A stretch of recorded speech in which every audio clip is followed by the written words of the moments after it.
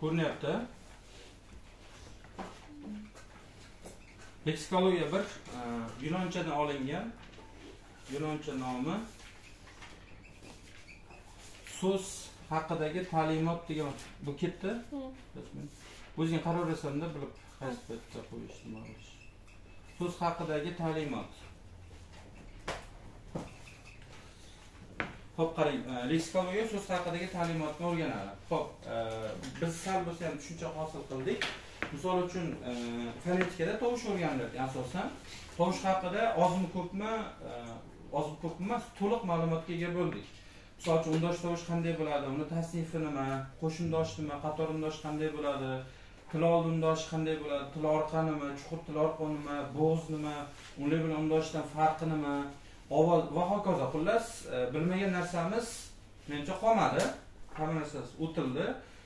Keyin siz bilan bo'g'in haqida gaplashdik. Bo'g'in amaliy ahamiyatlari nima uchun kerak? Qaysi paytda qanaqa holatda qo'llaniladi? Chetdan kirgan bo'lsa qanday holatda? Sof o'zbekcha so'zlarda e, qanday misol ikkita inga ikkita unlikni o'rtasida tursa haqida gaplashib oldik.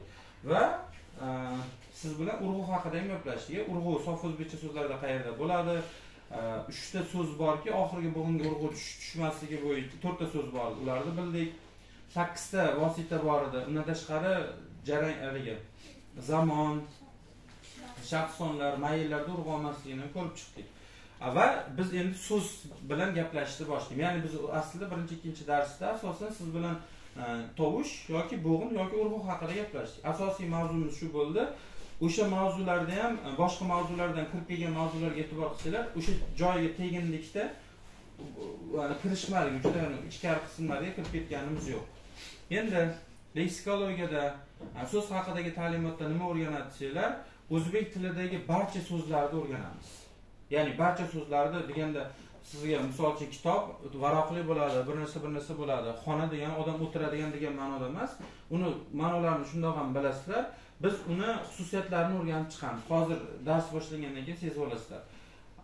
Misol uchun o'zbek tilida barcha narsani nomi bor bunday atrofimizga qarasanglar ham hamma narsani nomi u xoh bizni ko'zimizga ko'ringan bo'lsin xoh ko'rinmagan bo'lsin. Misol uchun olishingiz mumkin nafrat e, yoki uyqu ko'zimizga ko'rinmaydi uyqu. Lekin baribir o'sha narsa borligini sezamiz va e, umuman hamma narsaga nomi bor. Leksikologiyada shu haqida gaplashamiz do'stlar. Demak yunonchada ma'nosi nima ekan. So'z haqidagi ta'limot degan ma'noni bildiradi. Va o'zbek tilidagi so'zlar e, bir ma'noli so'zlar bir ma'noli so'zlar e, monosemik e, so'zlar ham deyiladi ba'zida va keyingisi ko'p ma'noli so'zlarga bo'linadi.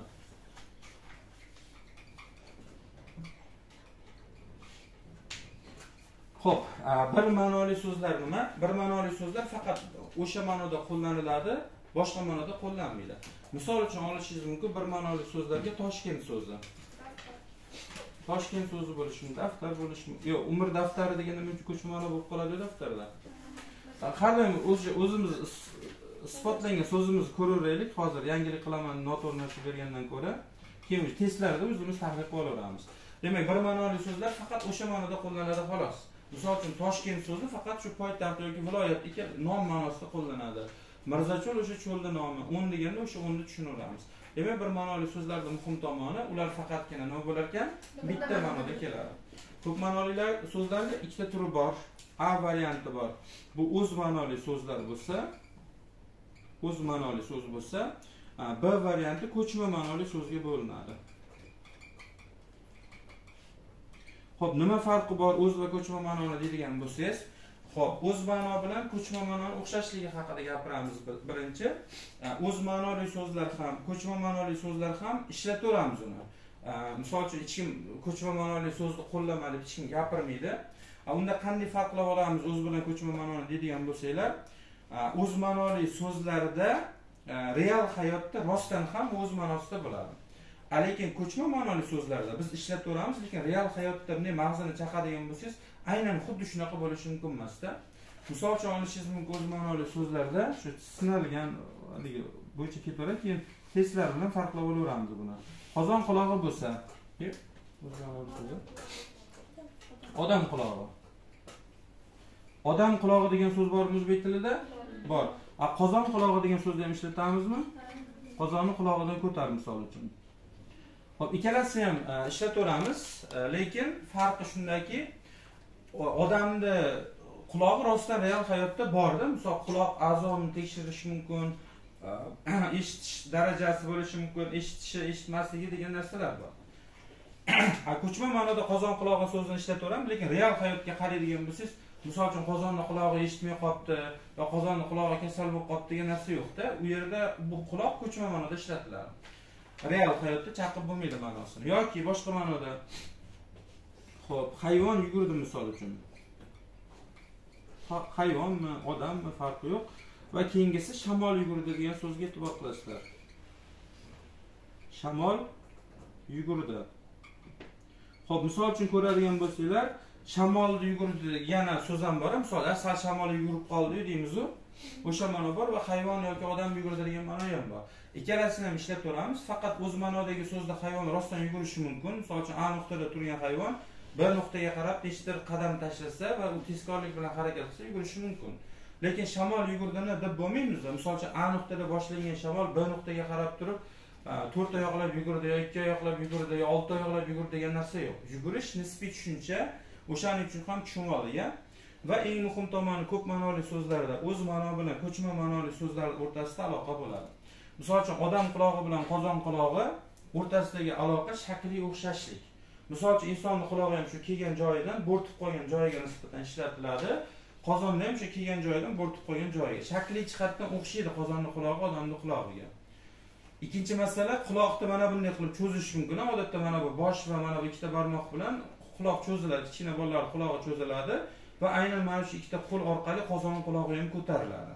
Tushundingizda ya'ni quloq qozon mana bunday ko'tarilmaydida mana bu ikkita qism ushlanib ko'tarish xususiyati bo'lishi mumkin.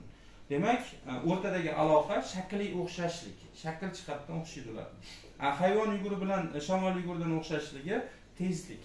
Hayvon yugurganda tez harakat qiladi shamol yugurganda ham demak shamol normal holatda turgan havo tezlashadi sal bo'lsa ham. Havo tezlashgani uchun ham bizga o'sha havo haligi keladi.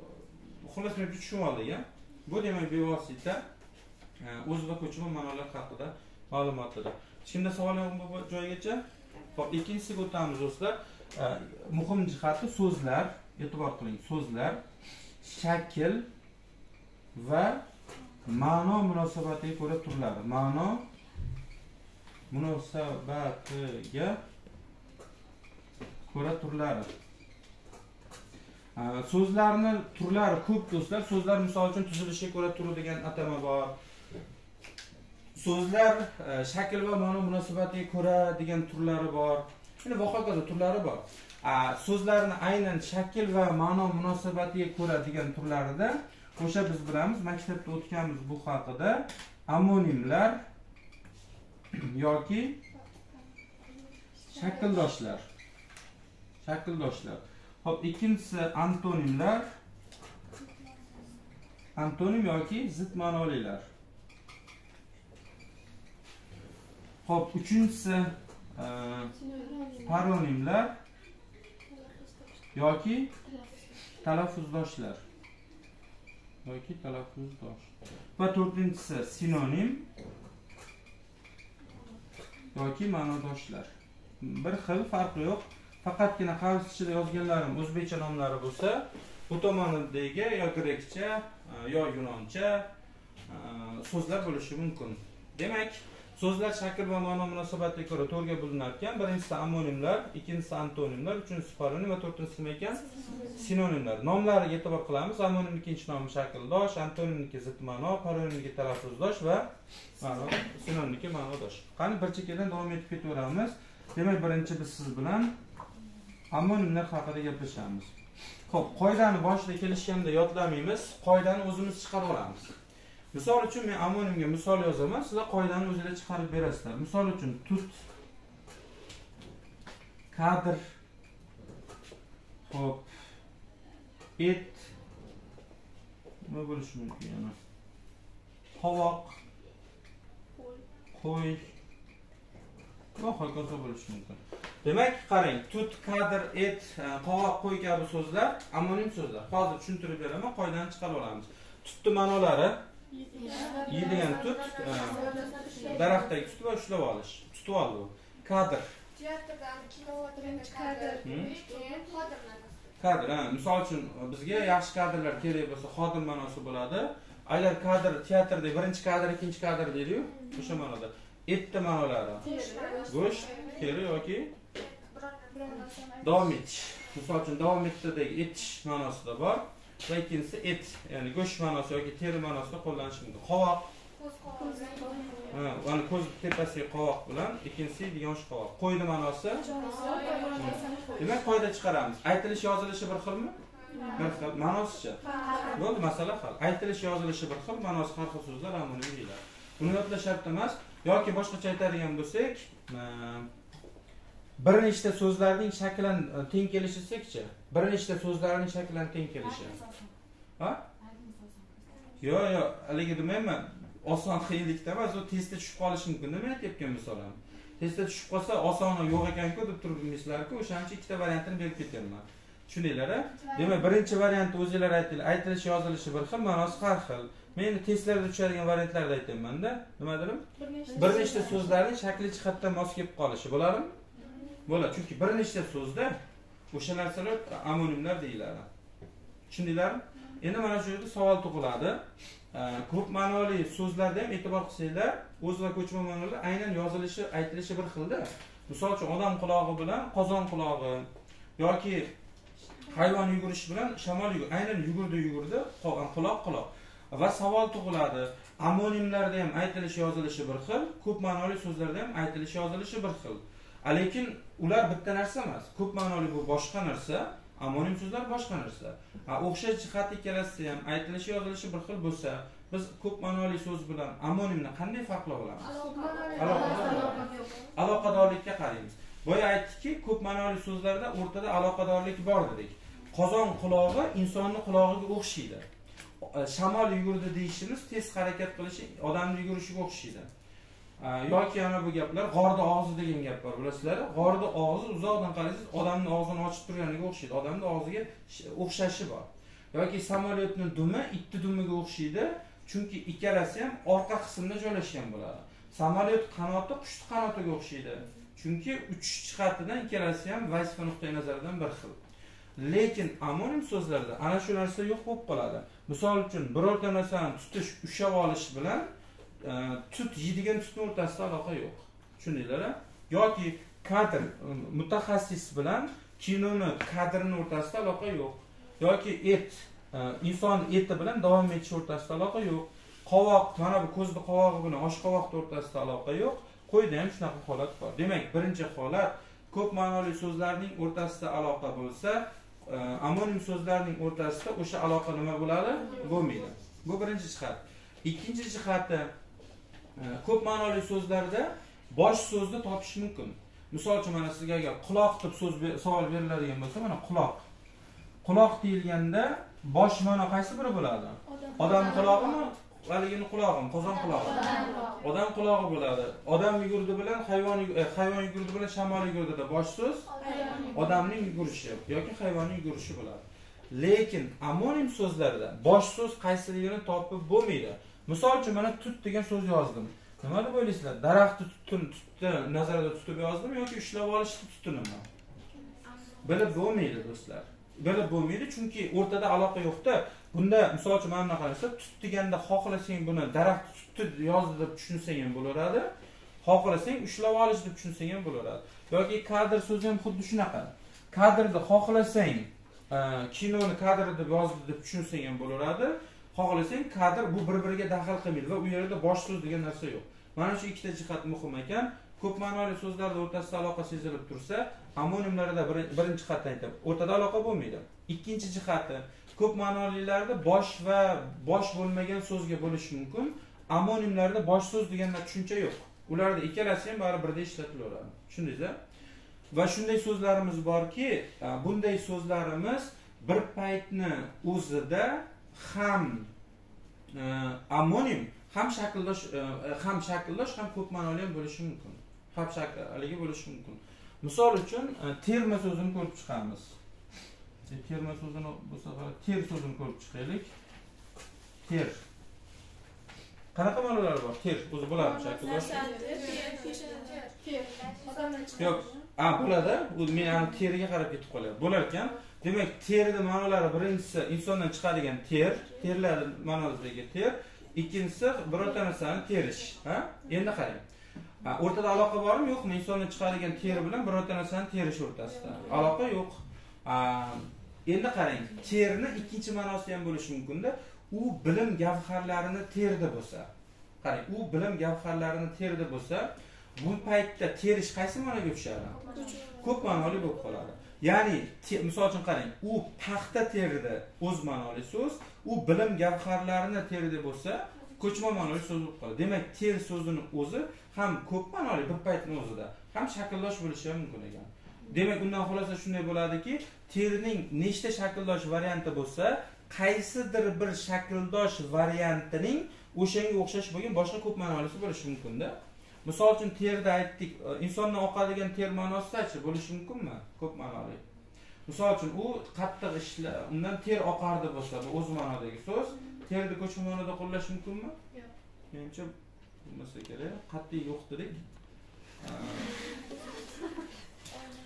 Ter. Ter oqardi. Oyna terladi ma'nosichi oynadan ter oqardi. Misol uchun she'riyatda bo'lishi mumkin A, oyna uyni isitish uchun ko'p harakat qilganidan terlardi bo'lsa o'sha ter oqardi bo'lsa oynadan. Menimcha bo'ladi oynada bilsanglar ertalabki yoki sovuq paytlarda haligi tashqari sovuq ichkari issiq bo'lsa oyna terlab qoladiku. Menimcha bo'lsa kerak oyna ishlaganidan terlamaydi bitta demak e'tibor qiling do'stlar ham amonim ekan har bitta amonimining o'zini ko'p ma'noli buni ham o'zini ko'p ma'noli bo'lishi mumkin ekan. Tushunib oldinglar bu jihatni ham ko'rib chiqdik bu bo'yicha tushundik endi qarang mana bunaqa qoida bor. Amonim so'zlarga bir xil qo'shimchalar qo'shilsa ham o'zining shakldoshligini saqlaydimi? Bir tekshirib ko'ramiz. Misol uchun e, qovoq so'zini ko'rib chiqamiz yoki kadr so'zini ko'raylik. Qovoq har safar ko'ramiz. Kadrga lar qo'shib ko'ramiz va yana bitta lar qo'shib ko'ramiz. Ikkita. Kadrda qanaqa ma'nolari bor edi? Va ikkinchisi mutaxassislar. Qani qo'yib ko'ramiz endi kadrda kinolarga nisbatan kadrlar suratga olindi desa bo'ladimi? Bo'ladi endi keyingisicha o'zbekistonga kuchli kadrlar kerak desakchi bo'lar ekan. Demak e'tibor qiling. Kadr holatida ham ammonim kadrlar holatida ham ammonim bo'lyapti saqlayapti. Bir xil qo'shimcha qo'shilsa ikkita so'zga nisbatan qo'shilyapti endi biz ho'p qo'y so'zini ko'rib chiqamiz. O'sha mashhur qo'y so'zi. Qo'y so'ziga misol uchun lar qo'shib ko'ramiz. Bunga ham o'sha larni qo'shib ko'ramiz. Demak unda qo'ylar ko'p. Bo'ladimi? Endi birorta narsani joyiga qo'ylar desa bo'ladimi? Endi qarang qiziq. Nima uchun? Birinchi so'zda shakldoshlar bir xil qo'shimchani olgan natijasida shakldoshlikni saqladida keyingi holatda birinchi so'zga qo'shilganda shakldoshlik bor ikkinchisida shakldoshlik saqlanmagan. Bu nima bilan bog'liq? Turkumi bilan bog'liq. Agar kad e, amonimlar bir so'z turkum doirasida bo'lsa unga xohlagan bir xil qo'shimchani qo'shing unda albatta nima bo'ladi? Shakldoshlik saqlanadi. Misol uchun olishingiz mumkin kadr. Kadrlar kadr kadrlar. Nima bilan bog'liq? Kadrni o'ziga qaraymiz bitta so'z turkumi. Chunki mutaxassis ma'nosidagi kadr ham ot so'z turkumi kinoning kadri ham ot so'z turkumi. O'shaning uchun ham bir xil qo'shimcha qo'shilishi natijasida uning nimasi saqlangan? Shakldoshligi saqlangan. Lekin qo'ylar tarkibidagi qo'y bittasi bilasizlar to'rt oyoqli hayvon ma'nosida ot qo'y deganda fe'l bo'lib qoladi. A fe'l bilan ot o'zaro shakldoshlikni saqlamaydi chunki ular turli so'z turkum doirasida bo'ladi. Mana bunaqa savollar tushadi. Testlarda hali men beraman uni ham ko'rib chiqasizlar. Misol uchun bunday qiladida? Mana bunaqa savol beradi. Qo'shimchani ikkinchi nomi shakliy ko'rsatkichan deyiladida. Quyidagi beshta oltita misol berib qo'yadi bugun ishladinglar testda bir ikki uch to'rt xil so'zlar berib chiqadi bir chekkadan berib chiqadi. Va besh oltita so'z beradida sizga savol beradi. Ushbu so'zlardan shakli ko'rsatkichlar bir xil qo'shilsa qaysi biri amonimlikni saqlab qoladi deydi. Ya'ni o'sha bir ikki uch to'rt besh berib qo'yib turib misol uchun mana bu so'zlar deylik tut bir ikki kadr uch et to'rt qovoq besh qo'y deydi. Va sizda savol beradiki ushbu so'zlarga bir xil shakli ko'rsatkichlar qo'shilsa qaysi birida amonimlik saqlanadi deb savol beradi. Keyin o'quvchi nima qiladi? Bittaman bitta qo'shib chiqadi. Tutlar deydi tutlar deydi o'ylab ko'radi bo'ladimi yo'qmi deydi. Yoki kadrga dini qo'shib ko'radi nini qo'shib ko'radi natijada ko'p vaqt yo'qotib qo'yadi. U, savol desa esa qulay variantida u savolni qulay varianti quyidagicha bo'ladi. Siz aslida e, ular bir xil qo'shimcha qo'shilish qo'shib ko'rishish shart emas. Siz qiladigan ishingiz tutni bitta so'z turkum doirasidami yo'qmi? Agar bir so'z turkum doirasida bo'lsa u demak saqlaydi. Agar bir so'z turkum doirasida bo'lmasa demak saqlanmaydi umuman yerda qo'shimcha qo'shib ko'rish e, hojati yo'q. Tushundinglar bu demak amonim so'zlar haqidagi e, ma'lumot edi. Amonim bo'yicha ko'ring agar bu narsa qolib ketmagan bo'lsa keyingisida o'tamiz.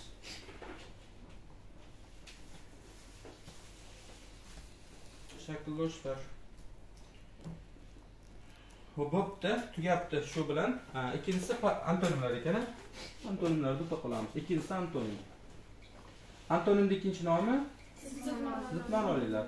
Antonim degani birorta so'zni zidida, misol uchun uzoqniki yaqin,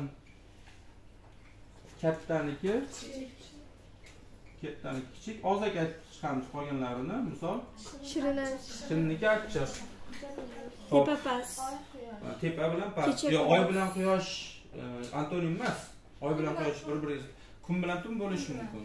kech bilan kunduz. Misol uchun kecha bilan kunduz yo kechqurun bilan kunduz. Bilamiz antonim so'zlar bu bir biriga qarama qarshi so'zlar lekin shunaqa xayol kelmaslik kerak. Ha demak antonimlar hamma so'zlar bir biriga nisbatan qarshi bo'larkanda degan fikr kelmaslik kerak. Misol uchun markerda antonimi yo'q xonani antonimi yo'q odamni antonimi hayvon bo'lolmaydi do'stlar. Tushundingizlar odam bu boshqa narsa hayvon boshqa bu bir biriga qarama qarshi deb ayta olmaysizlar. Chunki ikkalasi ham baribir jonzotda bittasi faqat aqlli bittasi sal aqlsiz bo'lishi mumkin. Lekin baribir ular antonimlikka olinmaydi. Demak birinchi holat shu ekan antonimlar mm, bir biriga qarama qarshi bo'lar ekan lekin hamma so'zlar ham antonimlikka ega emas. Ikkinchi holat. Misol uchun mana bunday so'zlarimiz bor do'stlar. Keldini kelmadi deb qo'yamiz. Hop, bordini bormadi deymiz. Bunday holatlar e, ma'no jihatidan rostdan ham zidlikni beradi. Misol uchun kelgan kelmagan ikkinchisi bittasi borgan lekin bitta jihati bormagan. Ma'no jihatdan o'ylab qarasangiz zidlik bordek tuyuladi. Lekin aslida bunday so'zlar antonimlikka olinmaydi. Ya'ni keldi kelmadi o'qidi o'qimadi uxladi uxlamadi turdi turmadi. Umuman ma bo'lishlik shakli orqali hosil qilgan fe'llar bo'lishli shakli bilan birgalikda umumiy holatda oladigan bo'lsanglar antonimlikni yuzaga keltirmaydi. Tushundinglar do'stlar bu muhim holat. Uchinchi holat oxirgisi bu. O'shanda misol uchun achchiq chuchuk bo'lishi mumkin. Achchiq chuchuk yoki e, uzoq yaqindan yoki e, oldi berdi. E'tibor qiling do'stlar. Hammasi antonim juftlik. Achchiq chuchuk bilasizlar shirin degani chuchuk suv deydiku. Shirin suv degani hop uzoq bilan yaqin o'zi ko'rinib turibdi oldi bilan berdi. Ba'zida antonimlar bir biri ikkalasi ikkita antonim birga kelishi natijasida boshqa ma'noni bildirib qolishi ham mumkin. Misol uchun achchiq chuchuk deganda antonimlik jihatdan achchiq bu ijobiy ma'no endi ijobiy salbiylik demaylik. Achchiq bu boshqa ma'no chuchuk boshqa ma'no. Lekin ikkalasi birikkan holatda boshqa so'zni berib qo'yishi ham mumkin. Achchiq chuchuk deganda bu salat ma'nosida ya'ni ovqatni turi ma'nosida qo'llanishi ham mumkin. Tushundingizmi ovqat turi ma'nosida ham kelishi mumkin achchiq chuchuk so'zi yoki uzoq yaqindan degan so'zni oladigan bo'lsanglar e, uzoq yaqin deyilganda e, bevosita misol uchun mehmonlar uzoq yaqindan keldi deydigan bo'lsangiz mehmonlar uzoqdan kelgan va yaqindan kelgan ma'no emasda. Ular umuman holatda o'rta hol o'rta masofadan ham kelishgan. Yangi ma'no beryaptiki uzoq yaqindan ma'nosi hamma joydan degan ma'noni bildiradi. Oldi berdi. Ho'p oldi berdi degani bu misol uchun oladi va berish. Lekin yangi ma'no hosil bo'ladigan bo'lsa oldi berdi bu e, shu pul bilan bog'liq munosabat bo'lishi mumkin. Yoki qanaqadir e, kimgadir nimadir bergan bo'lsa o'shani qaytarib olish bo'lishi mumkin. Lekin ma'no oldi berdi boshqacha ma'noda savdo sotiq ma'nosiga o'tib qolishi mumkin. Tushundinglar a va yana bitta narsani e'tibor berib ketay. Amonimlardan boshlaymiz bu narsani. Amonimlarda bir so'z turkum doirasida bo'lishi mumkinmi so'zlar? Bo'lishi mumkin. A, amonimda bir so'z turkum doirasida bo'ladi. Misol uchun kadr so'zini ko'rib chiqdik a kadr bo'lsa o'sha ma'noda bo'lishi mumkin va hokazo bo'lishi ham mumkin. Haligilarchi e, amonimlar boshqa so'z turkumlar doirasida ham bo'lishi mumkinmi Yo'q, chunki hammasi mantiq yo'q yo'q amonim. Amonimlarda amonimda bo'lishi mumkin chunki mana qo'y so'zida bittasi bor demak e'tibor qilamiz. Amonimlarda bir so'z turkum doirasida bo'lishi ham turli so'z turkum doirasida bo'lishi ham mumkin. Bu mumkin. Antonimlarda ko'rib chiqamiz. Bir so'z turkum doirasida bo'ladimi? Bo'ladi. Uzoq yaqin uzoq bilan yaqin ikkalasi ham ravish katta kichik ikkalasi ham sifat oldi berdi ikkalasi ham fe'l uzoq yaqin ikkalasi ham ravish. Va hokazo bo'lishi mumkin. Ochiq tushuk va hokazo olinadi. Tushundinglar do'stlar endi keyingi holatga o'tamiz. Antonimlikda turli so'z turkum doirasidachi turli so'z turkum doirasida bo'la olmaydi e'tibor qiling do'stlar. Amonim bilan antonimlar ikkalasi ham bir so'z turkum doirasida bo'lishi mumkin lekin amonimlar turli so'z turkum doirasida bo'la oladi. Antonimlar bo'la olmaydi. Bu nima degani? Misol uchun testlarda ko'p tushadi. Misol uchun e, go'zal so'zi bilan go'zal so'zi bilan yo'q go'zal emas chiroy so'zini olaylik chiroy so'zi bilan chiroy. So'zi bilan xunuk so'zini ko'rib chiqamiz chiroy bilan xunuk so'zi antonim bo'la oladimi? Bo'la olmaydi. Nega bo'la olmaydi? Chunki xunuk bu sifat chiroy bu ot bo'lib qolgan. Chiroy so'zi xunuk bilan e, demak haligi antonimlikka kirishi uchun u ham sifat bo'lishi kerak. Demak chiroy bilan xunuk antonim emas. Lekin chiroyli bilan xunuk antonim bo'lishi mumkin. Nimaga? Chunki turkum jihatdan ular bir xil. Tushundinglar demak antonim bo'yicha menimcha shular boshqa hech narsa yo'q hozir ko'raylikchi bo'ldi boshqa hech narsa yo'q keyingisi uchinchisi paronimlar hop paronimlarni ham so'zlar yozib chiqaman o'zinglar haligi qilib olasizlar qoida chiqarib olasizlar afzal afzal hop. Azm azm hop. Nufus fe'lolarini yozaylik nufus hop adl adl va bitta e, mashhurroq haligi beramiz mark bilan. Mark. Xo'p qarang, e, paronimlarni ikkinchi nomi nima ekan? talaffuzlashlar Oldin paronimlarga mana bunaqa qarash bor edida.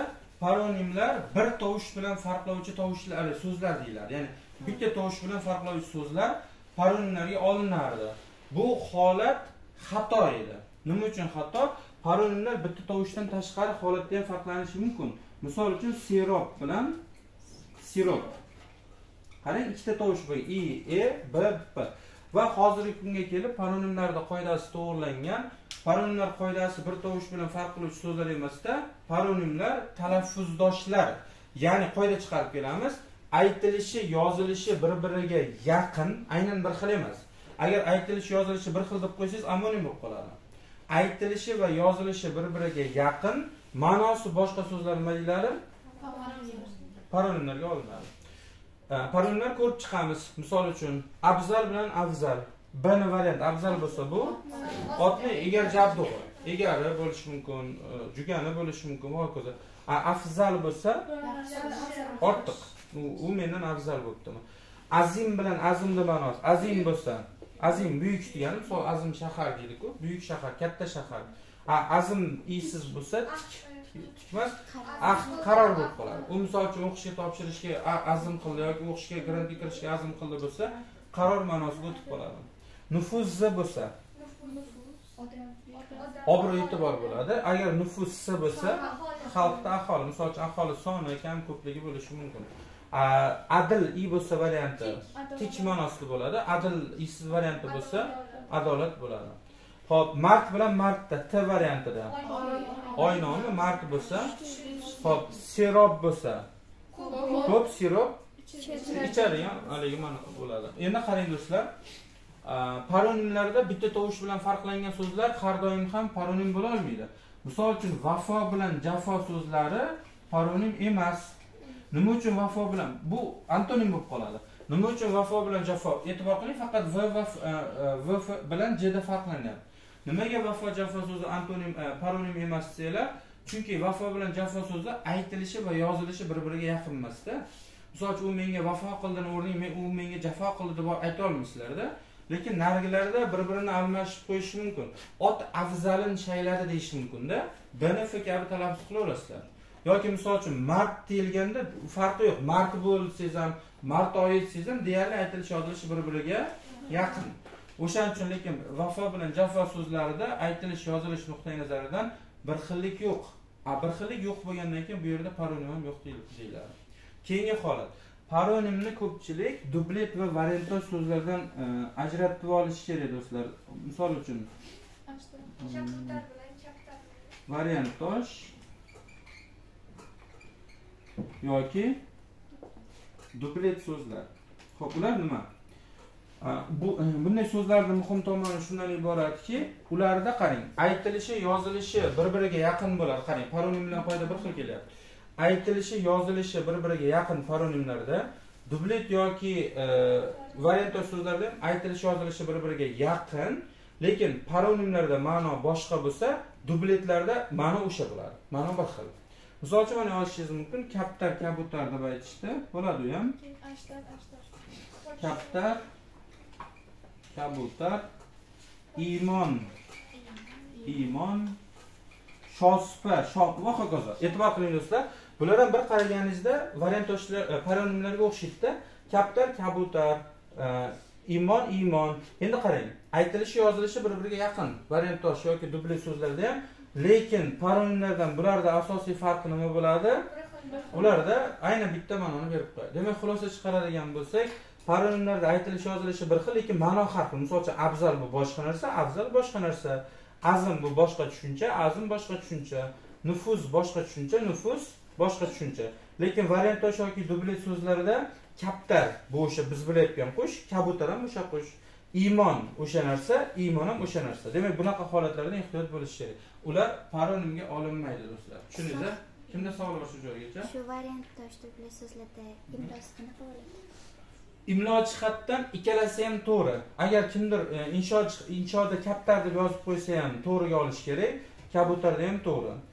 Iymon deb yozib qo'ysa ham to'g'ri iymon deb yozsa ham to'g'ri. Kimdir podshoh deb yozdi kimdir podshoh kimdir gado kimdir gadoy. Farqi yo'q. E, imlo jihatdan ikkalasi ham qabul qilinadi o'zi variant nima degani variant degani kamida ikkita bo'lishi kerakda to'g'rimi? Misol uchun uyga ketish varianti. Bugun men mashinada ketaman yoki bugun men samolyotda ketaman misol uchun. Maqsad bitta lekin varianti ikkita. Xuddi shunaqa so'z o'sha qushni maqsad deb tasavvur qiladigan bo'lsak o'sha qushni ikki xil nomlashdan ketishing mumkin va ikkala yo'l ham to'g'ri hisoblanadi. Tushundingmi hamma so'zda variant yoki dublet degan narsa yo'q. Kimda savol bor doska bo'yicha mana bu ko'p ma'noli so'zlar metaforadan keloladi ho'p e, ko'p ma'noli so'zlar metafora demaylik bunday qilaylik. leksikal bugun o'zi besh tugaydida shu bilan. Uchta darsda beshinchi sinf tugaydi. Keyingi darsda lekin beshta yana bitta qo'shimchasini o'tib qo'yishim kerak. Mana bu ko'p ma'noli so'zlarni turlari bor. Metafora metonima siniydoha vazifadoshlik kinoya va tag ma'no degan narsa bor. Qo'shimcha tur oltita oltinchisida bitta ma'no qolib beshtasini o'tib beraman o'sha ko'p ma'noli so'zlar keyingi darsda leksikologiya ikki bo'ladi berilayotgan darsimiz qisqa bo'ladi. Adashmasam mana shuncha yozilishi bilan tugaydi dars shu bilan. Aytdim birinchi uchinchi darslar katta bo'ladi buyog'i уже izga tushib ketadi. Kichkina kichkina darschalar buyog'i. O'zlashtirish oson bo'lib ketaveradi. Bo'lsa ikki bet bu doskada uch doska bo'lishi mumkin. Narassa borsa bundan keyin. Bundan oldin ko'rdikku to'rtta doskacha bo'lib ketdi. Ko'p ma'noli so'zni keyingi darsda o'tib beraman. И bugun anavi vazifa berdim shuni berib qo'yib nima edi anavi nechagacha bergansiz o'chirib qo'yavering tasmin turarsiz hop qarang leksikologiyada demak nimani o'rganayotganmiz barcha narsani sodda qilib so'z ma'nolarini so'z ma'nosi degani bu barcha so'z deganida demak yunoncha so'z haqidagi ta'limot ekan bir ma'noli so'z faqat o'sha ma'noda bo'lsa ko'p ma'noli so'zlar o'z va ko'chma ma'noda bo'ladi o'zi real hayotda rostdan bor ko'chma ma'no so'zlar ishlatsak ham lekin real hayotda bo'lmaydi Э, shakl va ma'no munosabatidagi so'zlarda to'rtta ekan. Amonim amonim aytilishi yozilishi bir xil ma'no har xil. Qaysi paytda shakliy ko'rsatkichlar qo'shilsa saqlaydi ular bir xil bo'lsa? Bir xil bo'lsa a turli xil bo'lsa bu saqlanmaydi. Antonimlarni tushundik. Bir so'z turkum doirasida bo'lishi shart ular. Turli so'z turkum doirasida bo'lib qolib chiroy bilan xunuk yoki e, shunga o'xshagan uzoqlik bilan yaqin so'zini ham ololmaysizlar uzoqlik bilan yaqin so'zi chunki yaqin ravish uzoqlik ot bo'lib qolgan ma'no jihatdan teng kelsa ham turkum jihatdan boshqami? Bo'ldi ular antonim bo'lolmaydi. Keyingisi e, ularda ma qo'shimchasi antonimlikda bo'lmasa ekan keldi kelmadi bordi bormadi uxladi uxlamadi antonimni yuzaga keltirmaydi. Mana bunga o'xshagan so'zlar achchiq chuchuk uzoq yaqindan oldi berdi ikkita antonim qo'shilib ma'no jihatdan nima bo'ladi? Boshqa boshqa ma'noga o'tib ketishi mumkin. Va ko'rdik buni. Paronimlarda ana bu jihatini demak aytilishi yozilishi bir xil ma'nosi har xil. Dublet yoki variantda so'zlardan paronimlarni asosiy farqi? Ha, ma'nosi jihatdan har xil bo'ladi. Lekin qoida bir xil keladi yarmigacha aytilishi yozilishi bir biriga yaqin degan narsa bunga ham bunga ham tushadi. Lekin aytilishi yozilishi bir biriga yaqin va ma'nosi ham bir xil bo'lsa variantdosh dubletlar agar aytilishi yozilishi bir biriga yaqin lekin ma'nosi har xil bo'lsa bular paronimga olinadi. Va paronimlarni jihatini tahlil qilamiz paronimlar bir so'z turkum doirasida bo'lishi mumkinmi? Yo'q. Misol uchun nufuz bilan nufuzga nima deysizlar nufuz obro' nufuz son. Ikkalasi ham nima so'roqqa javob bo'ladi? Turli so'z turkum doirasidachi sifat bilan. Demak xulosa chiqaramiz. Biz hozir siz bilan o'tgan amonimlar antonimlar paronimlar hammasi so'z turkum jihatdan bitta so'z turkum doirasida bo'lishi mumkin. Turli so'z turkum doirasida bo'lmaydigani bu uchtani ichida. Antonim. Lekin paronim bilan amonimlar turli so'z turkum doirasida bo'lishi mumkin. Bu demak birinchi do'stga kimda savol bor shu bo'yicha. E, to'rtinchi savol bo'yicha sinonimlar. Sinonimlar haqida kim nimani biladi? Sinonimlar biz harfidan boshlanuvchi so'z bo'lib. Yaxshi qani misol aytinglarchi bitta boshlaydi endi yuz yil xalq bashara turq chehra jamol yana oras ruxsor yana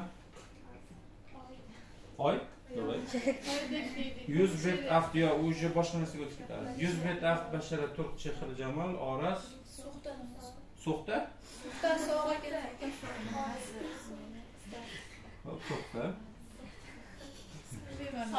Yo'q so'xta men uchun yuz emas holati ma'nosida yo bilmadim so'xtani yozmay turaylik bilmadim so'xtani to'g'risi. Kommentariyada fikr bildiringlar xo'sh nima deysizlar? Yuz bet aft bashara turq chehra jamol oraz ruxsor. Qarang e, tushun- tushunarli bizga yetadi bu. Aytilishi yozilishi har xil lekin ma'no bir xil mana shu narsa sinonimlar qatori deyiladi. Ya'ni bitta so'zga teng kelgan boshqa so'zlar ma'no jihatdan teng kelgan so'zlar nima ekan ma'no jihatdan teng kelgan so'zlar sinonimlar qator. U bitta qator hisoblanadi. Mana biz hozir uchta qatorga yozib oldik lekin baribir nechta qatorli sinonim qatori yozdik bitta bitta chunki bitta so'zni ma'nosi haqida gaplashyapmizda bitta ma'noli e, e, birinchi ma'noli qatorga bo'linadi. Endi qarang sinonimlar qatori. Sinonimlar qatorida dominanta degan narsa bor yoki u bosh so'z. Bosh so'z yoki dominanta bu nima uchun kerak? Bu boshqa so'zlarga nisbatan eng ko'p qo'llaniladigani va lug'atlarda asosan o'sha ma'no olinadi. Misol uchun siz ingliz tilini o'rganayotgan paytingizda gapirmoq so'zlamoq shivirlamoq ming'irlamoq bo'kirmoq so'zlaridan o'rganishdan oldin birinchi bo'lib lug'atda gapirmoq so'zi siz uchun asosiy vazifani bajaradi. Xuddi shunga o'xshagan sinonimlar qatorida eng ko'p qo'llaniladigan boshqalarga eng ko'p tushunarli bo'lgan lug'atlarda asosiy qo'llaniladigan haligi qism nima deyilar ekan? Bosh so'z yoki dominanta bu yerda yuz so'zi hisoblanadi. Va bilasizlar yuz so'zi uslubiy jihatdan betaraf so'zi hisoblanadi. Keyingi holat demak e'tibor qiling e, sinonimlar haqida birinchi bilgan ma'lumotimiz aytilishi har xil ma'nosi bir xil ekan. Bir ikkinchisida sinonimlar nechta misol berilgan bo'lsa ular nechta qatorda berilishidan qat'iy nazar bitta e, sinonimlar qatorini tashkil qiladi. Uchinchisi har qanday sinonim har qanday sinonimlar qatorida. Unaqasi yo'q. Misol uchun bosh so'zi yo'q bo'lgan sinonimlar qatori yo'q. Har qanday sinonimlar qatorida albatta bitta so'z bosh so'z yoki dominanta deyiladi. Ikkita so'z bo'lib qolishi mumkinmi degan savol bo'lsa unaqasi bo'lmaydi. Tushundingizda bitta yuzta. Misol uchun e, o'tadiga eslasanglar arablarda cho'l so'zini yuzta sinonimi bor. O'sha cho'l so'zini bitta dona so'zigina nima hisoblanadi? Dominanta yoki bosh so'z hisoblanar ekan keyingi masala. Har qanday sinonimik qator sinonimik e, sinonim e, sinonim so'zlarning umumiy ma'nosi hisoblanadi. Misol uchun yuz bet aft bashara turq chehra jamol orif. Ruxsat hammasi sinonimlar nimasi ekan? Umumiy ma'nosi hisoblanar ekan tabiiyki umumiy degan so'z bo'lgandan keyin unda xususiy degan so'zga ham o'rin bor. Xususiylik nima? Xususiyda bu o'zimiz topib olamiz. Misol uchun yuzdan qolgan so'zlardan tashqari biz qanday xususiy ma'nolarni yuzaga keltirishimiz mumkin? Ijobiy salbiyga bo'lishi mumkin. Bet salbiymi ijobiymi betning yubga salbiy. Bo'ladi aft.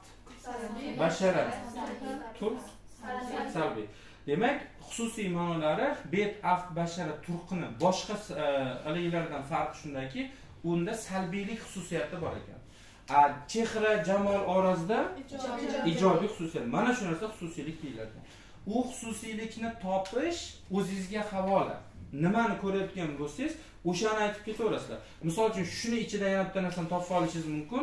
Ruxsor bilan oraz badiiy uslubga taalluqli deb ham ketishingiz mumkin uchinchi holatda va turlar bir biriga kirib qolishi mumkin. Mana misol uchun ijobiy bilan salbiyga bo'lganda oraz bilan ruxsorga bo'lindiku. Agar siz xususiyatga yana bo'lishni boshlasangiz ruxsor bilan orazni badiiy uslubga kirdi deb turib uchinchi turida qatnashtirishingiz ham mumkin. Tushundingizmi bitta uslubda qatnashish shart emas boshqalardan ham ketaveradi bular sinonimlar hisoblanar ekan.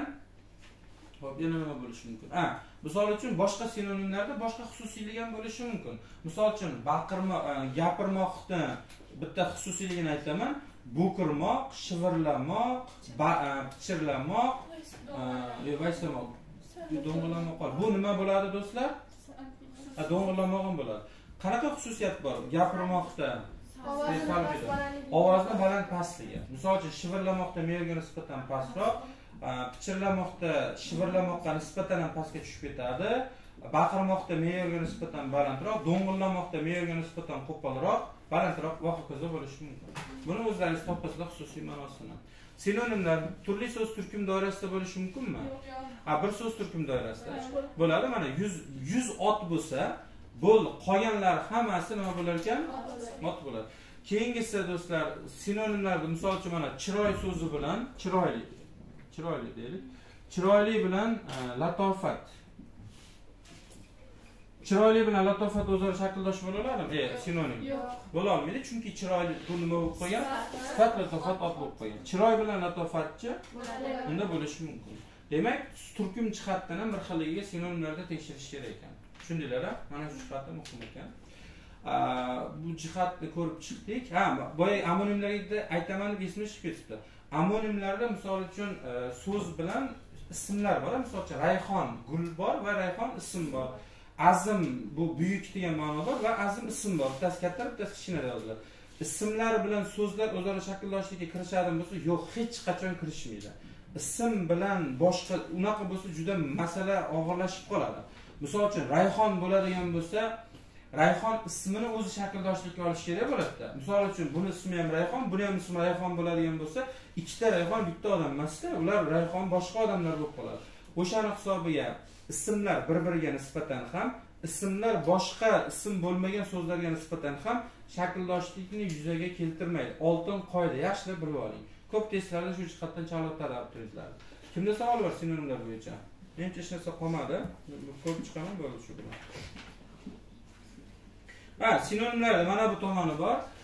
Xususiy ma'nolari nima uchun qo'llanadi desanglar ba'zida uslubiy jihatdan qarang uslubiy jihatdan sinonimlar bir birini almashtirish kerakda o'zida. Misol uchun mana qarang yuz so'zini bashara so'zi bilan sinonim bo'la oladimi sinonim bo'la oladi lekin uslubiy jihatdan bo'lmay qolishi mumkinda. Misol uchun uning chiroyli yuzi deyish mumkin lekin uning chiroyli basharasida bo'lmaydi. Nima uchun? Unki chiroyli so'zi ijobiy so'zni oldidan salbiylik xususiyatiga ega bo'lgan so'zni qo'llab bo'lmaydi. Demak lekin unaqa holatda nima qilamiz? Biz sinonim olmaymizmi? Chiroyli bashara bilan chiroyli yuz bo'lsa birinchidan unaqa qo'llash o'zi mumkin emas. Lekin bashara so'zi bilan yuz so'zini bemalol sinonimlikka olaverasizlar. Tushundinglar bo'ldi shu bilan sinonimlik tugadi. Demak umumiy xulosa chiqaramiz. So'zlarni shakl va ma'no munosabatiga ko'ra to'rttalasidan qaysi biri bir xil so'z turkum doirasida kela olmaydi? Hammasi keladi. Hammasi bir so'z turkum doirasida bo'lishi mumkin. Qaysi biri bir so'z turli so'z turkum doiralarida kelolmaydi. Antonim bilan sinonimlar qolgani paronim bilan amonimlar u xususiyatlar bemalol o'zida aks ettiraveradi ketdik keyinga o'tamiz tilning boyish manbalari do'stlar. Tilning boyish manbalari. Ho'p har qanday til boshqa tillardan so'z olib boyiydi. Har qanday til. Dunyoda birorta til yo'qki boshqa e, qo'shnilardandir qo'shnilaridandir yoki boshqa tomonlardan farqi yo'q. Qaysi so'zdan bo'lsin albatta so'z oladi. Va buni u davlatni qudrati belgilamaydi. Misol uchun e, eng rivojlangan xalqlardan biri germaniya bo'lsin a germaniya kansleri chiqib bugundan boshlab sof germancha bo'lmay nemischa bo'lmagan so'zlarni qabul qilmanglar degani bilan iloji yo'q baribir xalq qabul qilaveradi. Ya'ni e, tilning xususiyatini boyitishni rahbariyat boshqara olmaydi. Bu yomon gap emas shunchaki uni qo'lidan kelmaydi ularni chunki misol uchun mana ko'p aytamiz e, olishingiz mumkin oxirgi marta endi kirib kelgani shu burger so'zi lavash degan so'zlar kirib keldi yoki coca cola so'zi kirib keldi. Coca colani o'zbekchasi nima bo'ladi? Yo'qda.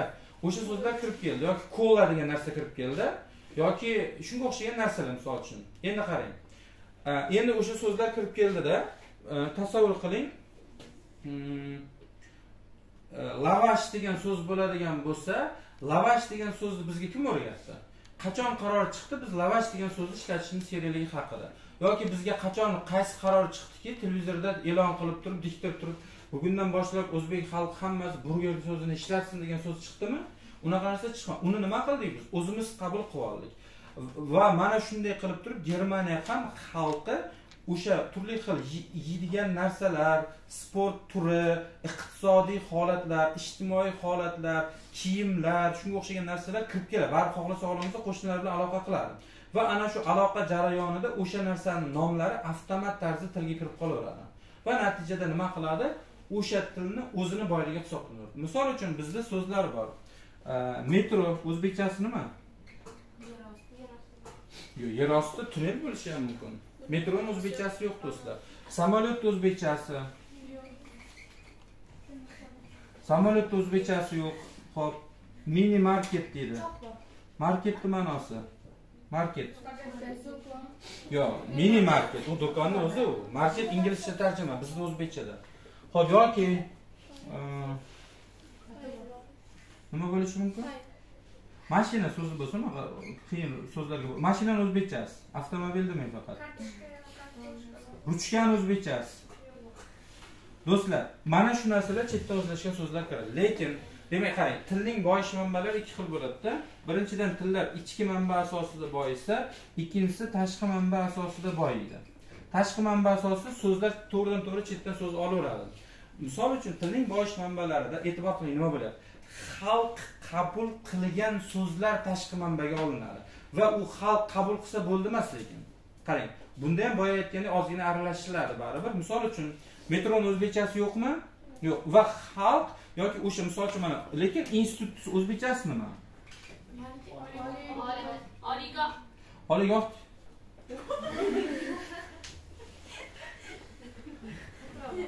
ho'p Qarang do'stlar, e, tiling boshi manbalar tashqi manbalarda metro, samolyot, e, market, e, misol uchun samolyotda o'zbekchasi yo'q a marketda endi do'kon deyapsizlarmi menimcha magazin bo'lsa kerak ho'p mashina, ruchka o'zbekchasi. Endi qarang do'stlar. Xalq shuni qabul qilganmiz. Misol uchun endi savol tug'iladida, bir paytlari shunaqa aralashuv bo'lgan. O'zbekiston endi mustaqil bo'lgan paytlarida nima qilishgan yozuvchi ijodkorlar biz endi e, Rossiyada nafaqat davlat xususida, balki til nuqtai nazaridan ham ajralishimiz kerak. Ularni olgan tillarimizni chiqarib tashlash kerak deb turib yozuvchilar nima qilgan? Yozuvchi emas, shu til bilan haligilar olimlar haligi deyishgan. E, samolyotni uchoq deymiz deyishgan. Samolyot uchoq. Avtobusni ko'p kursi deyishgan.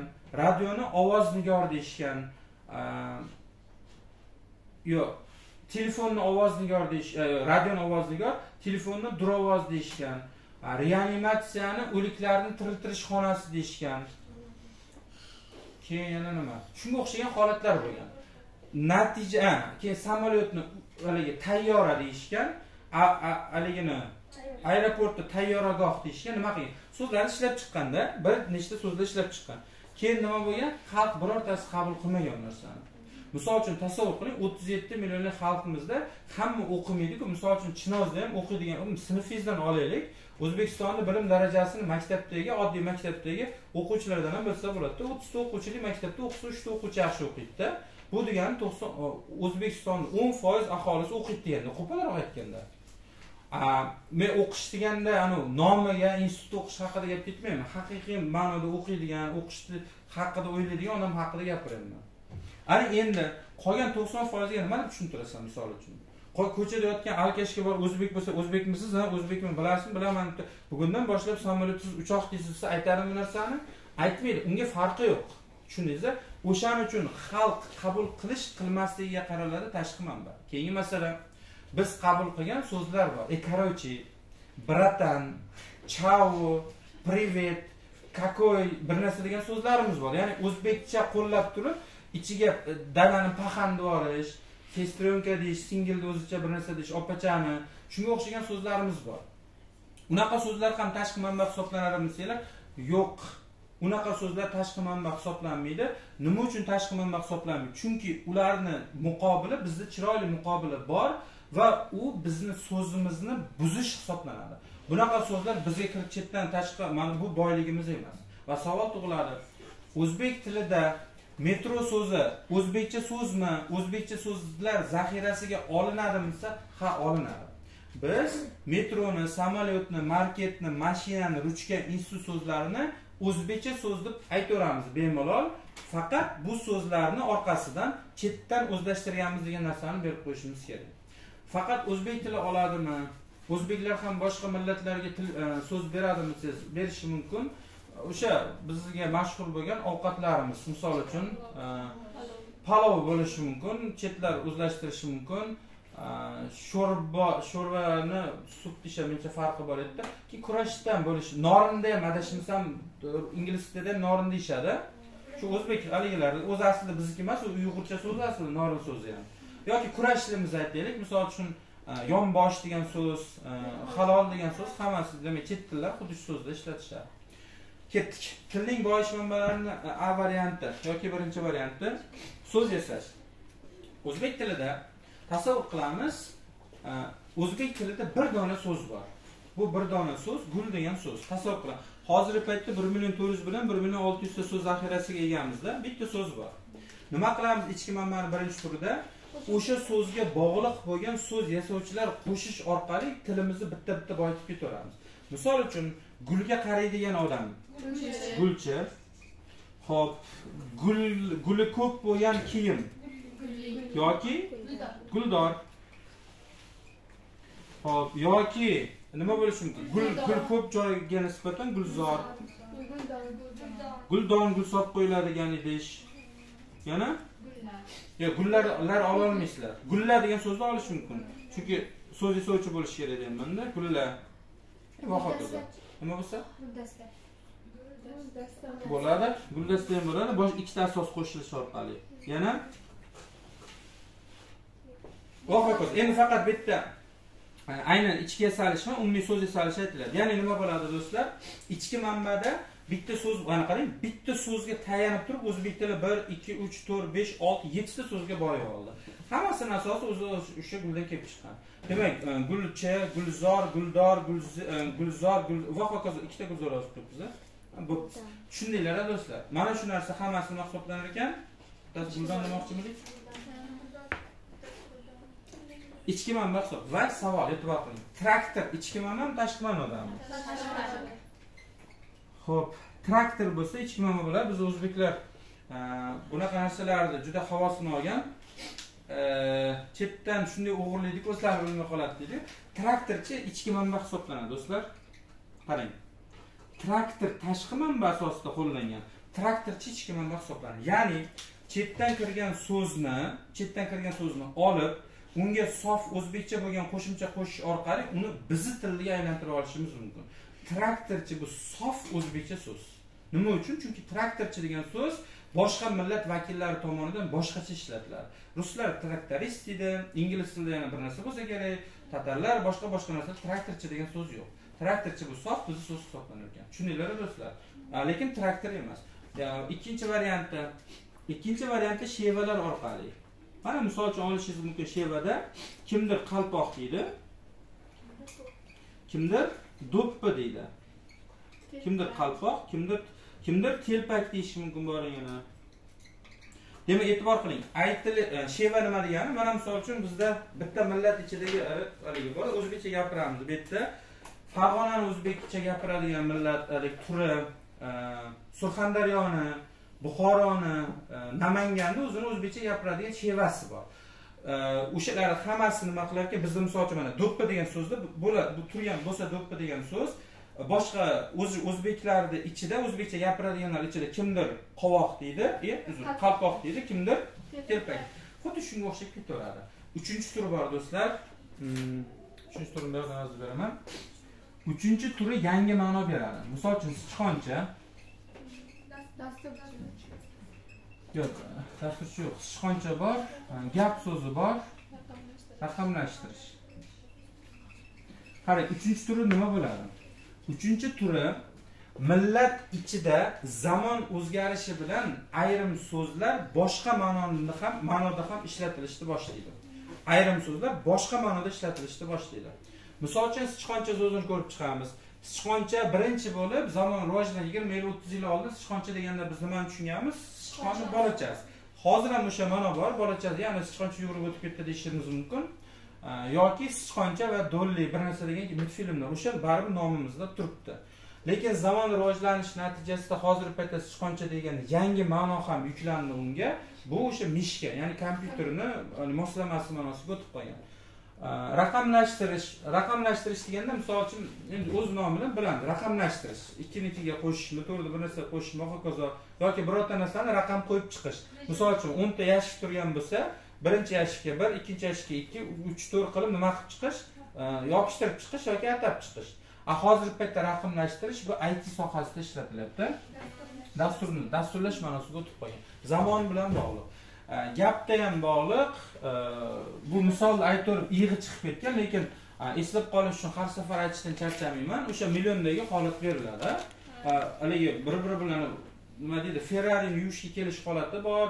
Misol uchun sizda gapim bor deydigan bo'lsa u aytadi nima gapingiz bor deydi. Ya'ni e, ferrarini yuvgan kelgan odam zamonaviy shahar vakili bo'lsa bu qishloq vakili bu gapni yangi ma'nosini hali tushunib yetmagan mana ferrarini yuvishga kelgan odam gapim bor edi desa u o'ylaydi menda u chekka qishloqdan kelganda o'zi zo'rg'a yashayapti toshkentda. Menda nima gapi bor ekan deb o'ylaydi. Natijada u tezroq yuvgan uch to'rtta bolalar bilan gapim bor desa уже o'ylashni boshlaydi. Bitta o'zi gaplashmas ekan men bilan. To'rtta beshta odam kelib gaplashadi deb o'ylaydi. Ana shu joyda qishloq vakili gapni oddiy ma'noda tushungan bo'lsa shahar vakili gapni hozirgi paytda o'tirish ya'ni yig'ilish ma'nosida pul tashlashib shunga o'xshagan narsada tushunish berilgan. Tushuninglar mana shu ikkita holatdan ham demak foydalandik. Kimda savol bor shu joygacha? Savol bo'lsa ho'p gapni amalga olsak bo'ladi gap. Yig'ilish ma'nosida va gap ham haligi yozsanglar bo'ladi. Yoki amonimda menimcha ko'p ma'noliga ma'qul emasmikan ko'p ma'noli bo'lsa kerak menimcha Amonim bo'ladimi? Ha, u chunki gapda ham baribir gaplashamiz deydida maqsad shu bo'lganda baribir gapda bor hamma jim o'tirib qaytib kelmaydida baribir bitta ham gap so'z bo'ladi boshqa bo'ladi shuning uchun menimcha amonim bo'lsa kerak savol yo'q bu bo'yicha savol yo'q bo'lsa keyin Hı? advokat bilan yuristlar shunda tashqi muhitdan kelganmi yaxshi edi Hop, yurist menimcha huquqshunos deymiz. Yurist so'zi ham baribir e, tashqi manba olinishi mumkin menimcha. Advokat 100% olinadi lekin. Advokatda o'zbekchasi menimcha yo'q u. Yurist bu faqat advokat emasda, yuristni ichiga sud sudi ham kirib ketadi, bir narsalar ham kirib keladi. Advokat oqlovchi deymiz.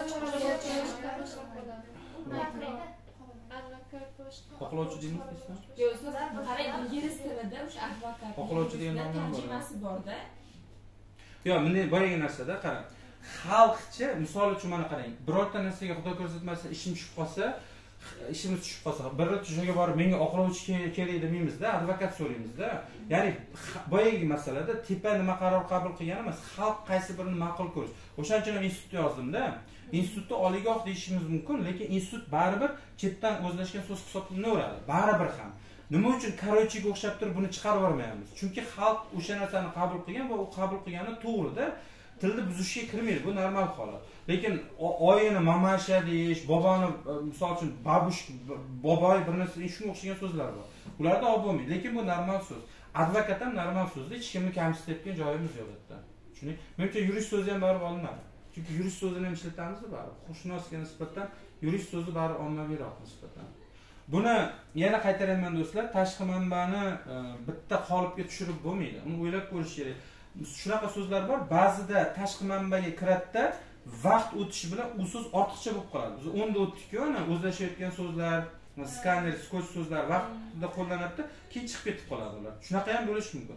Tashqi manbada o'sha millatni ichida ma'lum davrda yashaydida yangi avlod shakllanish davrida yangi avlod u so'zni ma'qul ko'rmaydi chiqarib tashlaydi shunga o'xshagan narsa bo'lib qoladi. Misol uchun mana apteka dorixona degan so'z ham bor aptekani ham baribir tashqi manba asosli so'zni olaverasizlar chunki apteka deymiz men dorixonaga ketyapman demaydida lekin asta sekinlik bilan yangi avlod apteka deyishdan ko'ra dorixona degan so'zlarni ham ma'qul ko'ryapti asta sekinlik bilan. U avlod almashinuvi bilan bog'liqda tashqi manba hisoblanadi hisoblanmaydi keyingisi do'stlar eskirgan so'zlar degan narsa bor.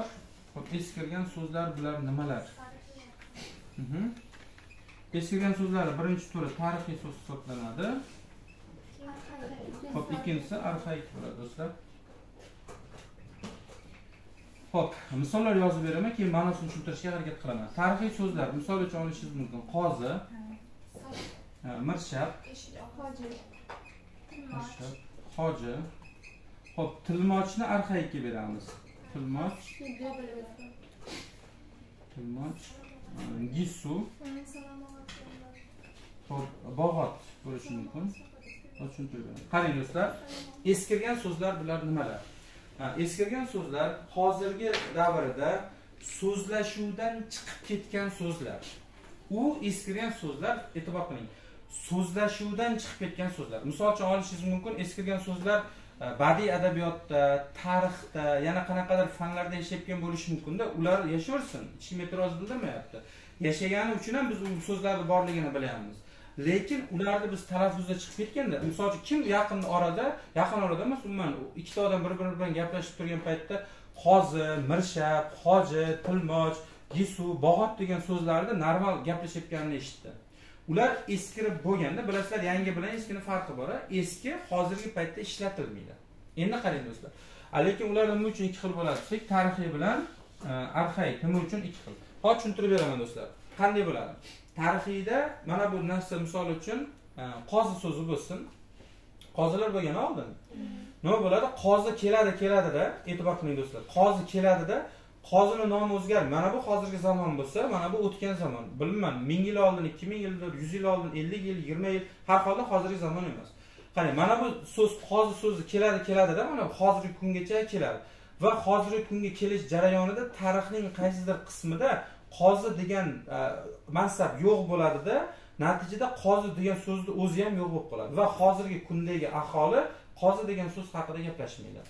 Na uni tushunchasi qoldi na uni e, so'zi qoldi. Shunchaki u eskirib ketdi. Nafaqat nomi eskirdi. Uning tushunchasi ham eskiradi. Arxaik so'zlar qanday bo'ladi? Arxaik so'z e'tibor qiling do'stlar. Misol uchun mana bu tilmosh degan so'z. Tilmoshlar u qadim zamonda bo'lgan va hozirgi kungacha tilmochlar bor. Hozir ham tilmochlarni ko'ramiz. Faqat tilmoch degan nomi nima qiladi? Eskirib qoladida uni o'rniga xuddi shu tushunchani bildiruvchi xuddi shu tushunchani bildiruvchi boshqa so'z orqali atashni boshlaymiz demak qoida chiqaradigan bo'lsak tarixiy so'zlar tushuncha ham so'z ham eskirib qoladi va bugungi kungacha yetib kelmaydi.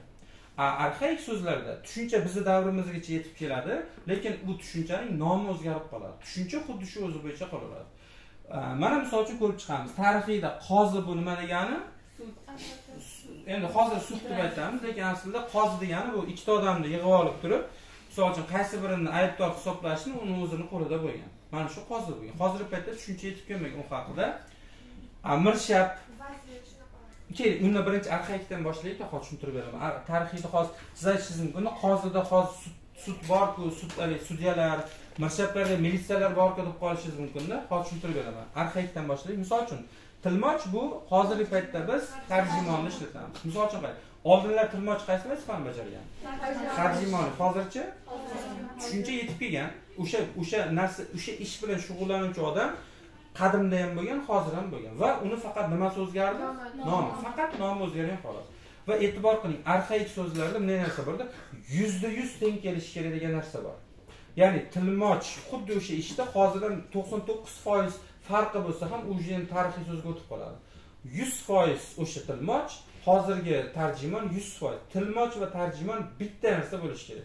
Ikkalasi misol uchun bunga bunga nisbatan to'qson to'qqiz jihatdan foiz jihatdan farqi bo'lib qolsa ham endi u haligi bo'la olmaydi arxaik bo'la olmaydi.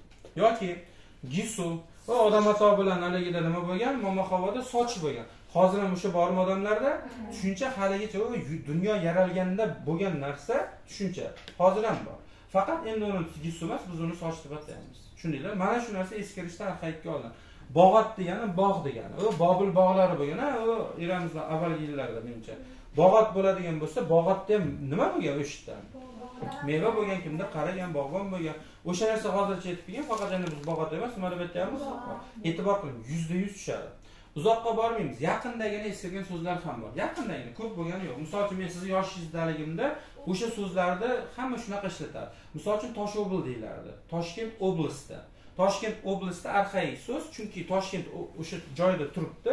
Faqat endi oblast o'rniga viloyat so'zi bo'ldi. Chinoz rayoni hozirgacha ishlatiladi ayrim joyda lekin baribir eskirib ketdi chunki chinoz rayonini yangi avlod tuman deb aytyaptida. Rayonga ketyapman deb aytmayapti hech kim endi. Endi tumanga ketaman chinoz tumani deb aytyapti.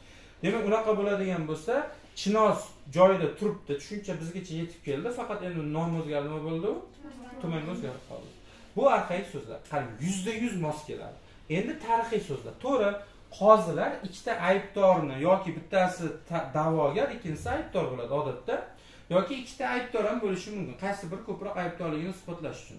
Qozida qanaqa huquq bo'lgan? Qozida xohlagancha huquq bo'lgan. Hech qanaqa qonun bo'lmagan qozida. Qozida o'tirib olganda ikkitasini ko'zini yumib turib bunday qilib turib qaysi biri ko'ziga ko'rinib turgan bo'lsa bunday qilib turgan bo'lsa ham ya- e, nima deydi? Ruscha aytgan naglilik bo'lgan farqi yo'q. Boshqalarning nima desang deyaveradigan o'zini huquqini bemalol o'tkazavergan ana shu narsa qozi hozir sudyalar shunday qila oladimi ikkitasi o'tirib olib turib ya'ni youtubega bittasi videoga olib tursa qaranglar zo'r fokus ko'rsataman deb turib bunday bunday sanab turib qo'li tushgan sen aybdorsan deya oladimi yo'q demak e'tibor qiling qozi bilan sudya yuzda yuz teng kelolmaydi. Chunki sudya hozir huquqlari bilan himoyalangan va agar qozi o'zi berayotgan huquqqa o'zi amal e, sudya o'zi aytayotgan huquqqa o'zi ham amal qilishga majbur. Lekin qozilar bunaqa huquq bo'lmagan. Farqi yo'q boshqalarga huquq berilgan o'zi unga amal qilmasa ham bo'laveradi yoki mirshab mirshapni ham xuddi shunaqa. Militsiya nomiga birlashtira olmaysizlar chunki mirshabni qo'lida o'sha paytda qamchi yurgan yana bir narsa qanaqadir g'alati huquqlari bo'lgan. Xohlagan odamni xohlagan joyda turib olib turib nima deydi? Sud qilib o'sha joyda o'zida urib ham ketaverish mumkin bo'lgan. Militsiyalar shunday qila oladimi hozir? Qonun jihatidan mumkin emas. Hoji so'zi eshik og'asi degan ma'noni bildiradi. Eshik og'asi ham oldin u lavozim bo'lgan. Hozirgi paytda kelib u nima bo'lmagan? Hozirgi paytda aynan unaqa yo'q. mana shular nima deyilar ekan demak Hojilar umraga, hajga borganlar. Hojib. Ha, ho- Hojib. hoji emas hojib bo'lishi kerakda xato yozib qo'yibdilar yusufbek hojib yo yusufbek hojib yo u ma'nodagi bu so'z shu boshqa so'z hisoblanadi tushundinglar u haligi eshik og'asi ma'nosida yusufbek hoji Xos hojib. Hojib bo'ladi? To'g'ri. Hoji emas hojib bo'ladi. Xato yozibman do'stlar. Hojib bo'ladi uzr. Hojib bo'ladi. Tushundinglar do'stlar. Hoji bo'lsa shu boshqa ma'noga o'tib qoladi. Ta keyingisi e, yangi so'zlar bor. Eskirgan so'zlardan keyin yangi so'zlar nima farqi bo'ladi do'stlar? Qarang. Yangi so'zlar qoidasi juda oddiy. Hozirgi paytda yangilik belgisini saqlab turgan so'zlar. Tushundinglar hozirgi paytda yangilik belgisini saqlab turgan so'zlar.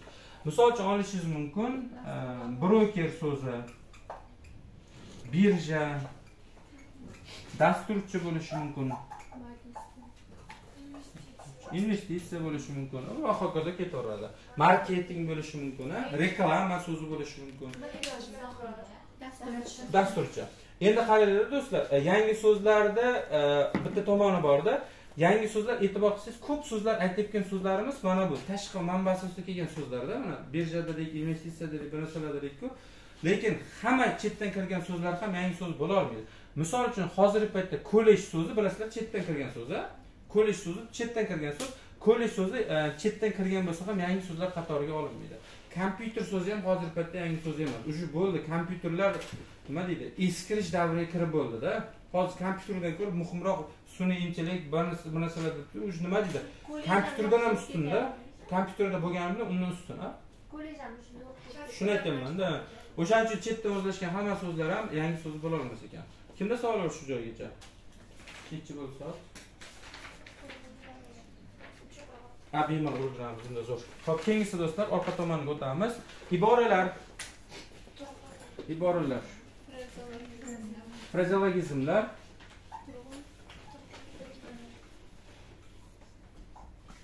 Yoki turg'un birikmalar ham deyish mumkin.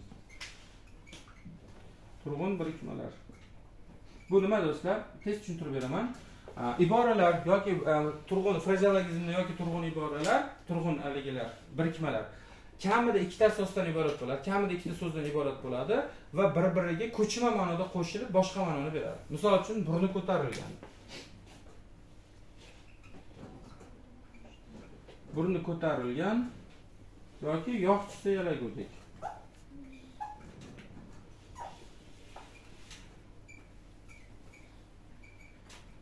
Yalagudek ho'p va hokazo demak e'tibor qiling nechta asosdan iboratku kamida ikkita asosdan iborat.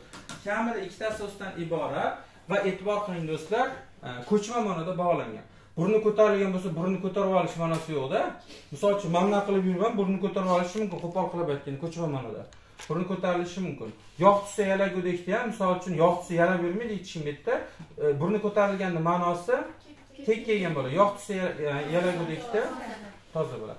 Endi qaranglar do'stlar bunday ibora e, iboralar e, ishtirok etgan so'zlarni muhim tomoni shundaki ular har doim bitta so'z hisoblanadi. Bir dona so'z.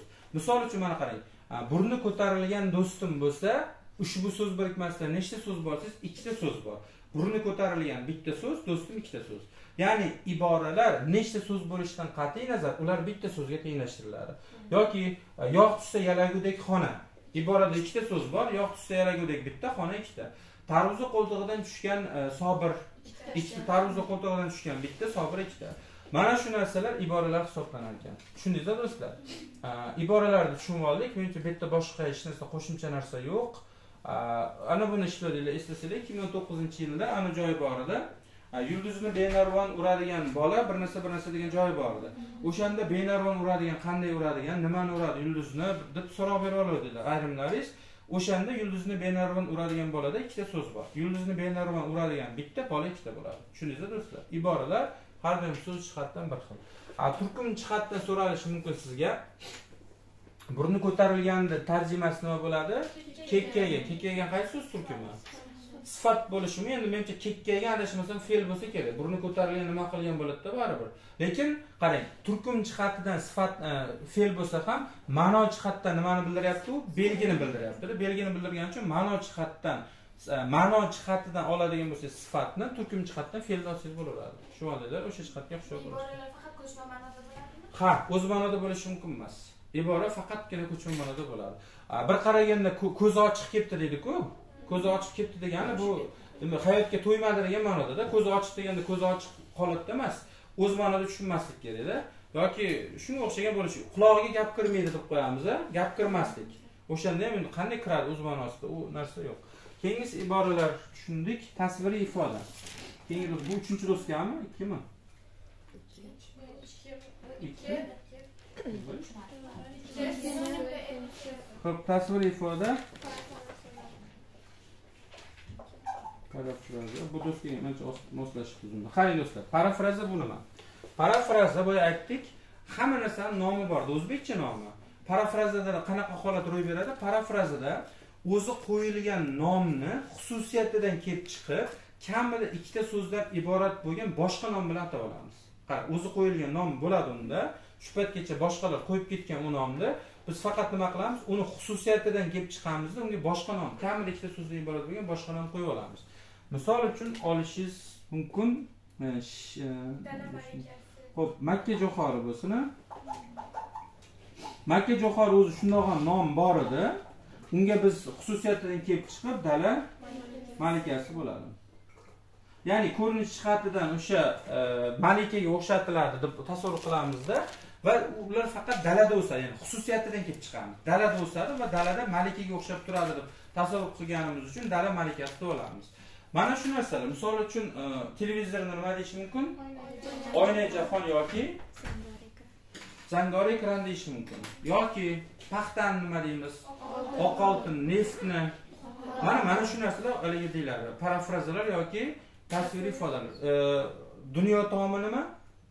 Osmon. pomir dunyo taomi pomir bo'ladi. Ho'p charm qo'lqop ustalari. Bokschilar. Bo'lishi mumkin. Yoki varatalarga nisbatan ham ishlatiladi boychechak nima deymiz? Bahor ko'ryapsizlar kamida ikkita so'zdan iborat bo'lgan demak haligilar kiradi. Tongi tarovat nima edi?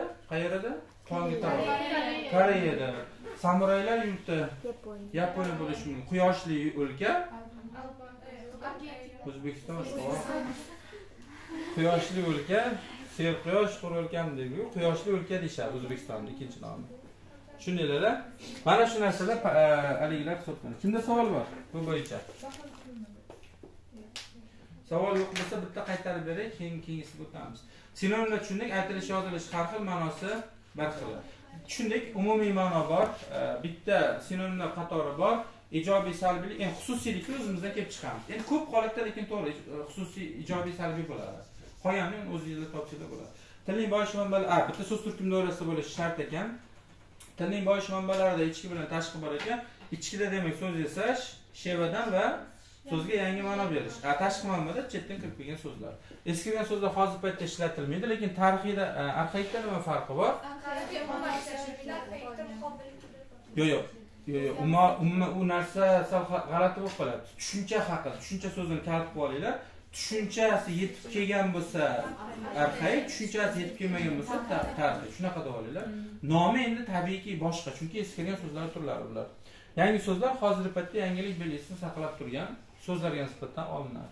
Iboralar yoki frazeologizmlarni tushundik turg'un birikmalarda demak kamida ikkita so'z o'zaro birikib oladida ma'no jihatdan nima qiladi? Boshqa so'zni berib qo'yadi. Tasviriy ifoda tushundik bitta so'zni o'zini nomi bilan emas e, uning xususiyati uning xususiyati muhim bo'lar ekan hozir oxiri nimani o'tdik? Tasviriy ifoda o'tdik atamalar degan narsa bor do'stlar. Atamalarda ikkinchi nomi bor e, atamalarda ikkinchi nomi terminlar deyiladi do'stlar. Termin yoki atama bu nima? Fanda yoki kasbda ishlatiladigan o'sha kasbga doir bo'lgan so'zlar yoki atamalar o'z nomi bilan bo'ladida. Misol uchun atamani birinchi turi bu kasbiy atama bo'lishi mumkin. Kasbiy atamaga misol nima bo'lishi mumkin? Ha, tesha bo'lishi mumkin andava bo'lishi mumkin.